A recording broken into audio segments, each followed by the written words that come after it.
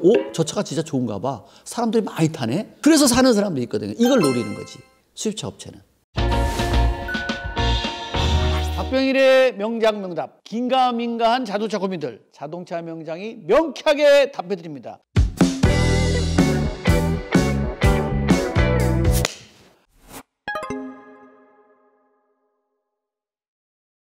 저는 중고차 샀죠.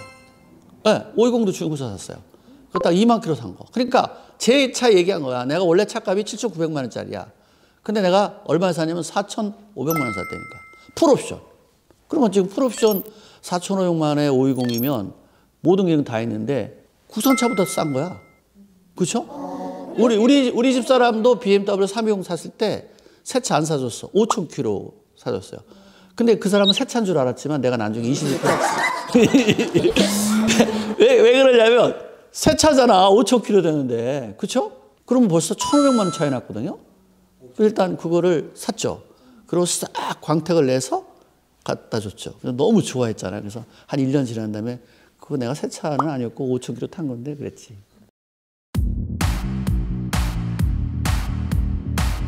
나 같은 경우는 새 차를 안 사고 5천에서 만, 만은 넘어봐 2만. 거기다 이미 어, 저기 썬팅도 다 했어요. 그렇잖아요. 그리고 차분이 깔끔해.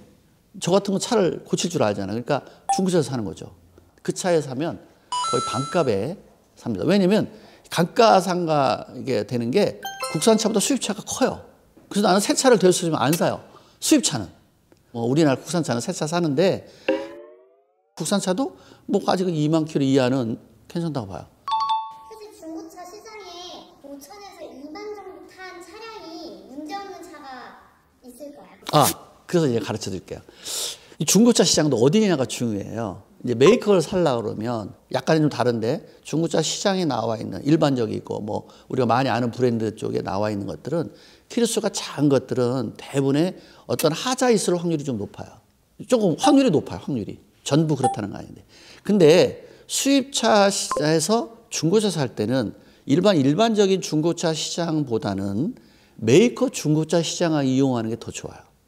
왜냐면 걔네가 보증하거든. 그리고 거기는 자기네가 다 모두 점검을 했어요. 기술자들이. 그렇기 때문에 한마디로 거의 틀림없는 차. 근데 일반 중고차 시장에 나와 있는 건 사고 차일 확률도 있고요. 그 다음에 또 뭔가 트러블이 생겨갖고 뭔가 하여간 서류상 복잡했던 이런 여러 가지가 있을 수 있어요. 그래서 같은 수입차를 살 때 됐으면 수입차 메이커에서 하는 거기를 두들겨 보는 게 좋아요. 약간의 수입차 시장은 이런 게 있어요. 그러니까 자기 브랜드가 있는데 싸게는 못 팔잖아요. 싸게 팔면 아무래도 입 다물어 너한테만 이렇게 싸게 주는 거야. 너도 그러는 걸 한번 알아봐. 이렇게 하면 이게 다 소문이 나게 되면 결혼용 브랜드 이미지가 되잖아요. 그래서 메이크에서는 이런 방법을 써요. 일단 중고차를 만들어요. 자기 직원들의 복지 차원에서 직원들한테 등급별로 차를 한 대씩 딱 주는 거야. 집사람까지. 어느 정도 운행을 하기는 중고차가 되죠. 다시 받아. 그리고 싸게 팔아. 그리고 다시 자기 직원들 다시 새 차 줘. 그거 다시 중고차 만들어. 그래가지고 이 시장을 점유율을 높이는 거죠. 그러면 이제 시장에 밖에 많이 돌아다니면 많이 돌아. 오, 저 차가 진짜 좋은가 봐. 사람들이 많이 타네. 오, 좋은 거 봐. 그래서 사는 사람도 있거든요. 이걸 노리는 거지. 수입차 업체는. 뭔지 알겠어요? 걔네들은 우리를 좀 이용하지만 우리도 걔를 꼭 활용할 필요 있는 거죠. 그 아무래도 회사 차잖아. 그러면 자기 차보다는 좀 조심스러워야 되잖아. 그렇기 때문에 그 차들은 괜찮다. 라고 보는 겁니다.